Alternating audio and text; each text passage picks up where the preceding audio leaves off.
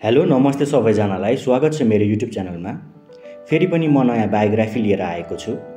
हजुरहरू नयाँ हुनुहुन्छ भने कृपया मेरो च्यानल सब्सक्राइब गरिदिनु होला आज म सौगात मल्लको बायोग्राफी भन्न गइरहेको छु।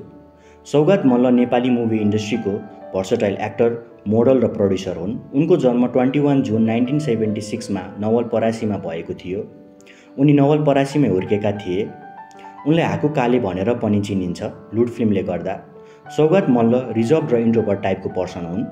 उनको एजुकेसनको कुरा गर्न पर्दा उनले प्राइमरी स्कुल एजुकेसन नवलपरासीबाट कम्प्लिट गरे र पछि काठमाडौँ आएर Arohan Gurukul drama school join भएर एक्टिङ सिक्न थाले।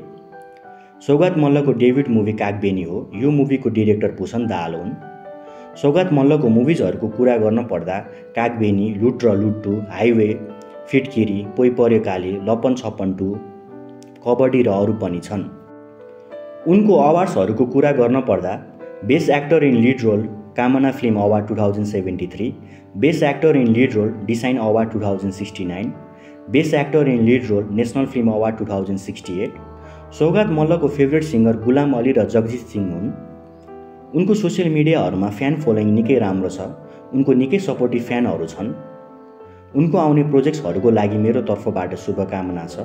हस् धन्यवाद। यो थियो सौगात मल्लको बायोग्राफी। कृपया लाइक कमेन्ट र सब्सक्राइब गरिदिनु होला र केही मिस्टेक भएमा माफ गरिदिनु होला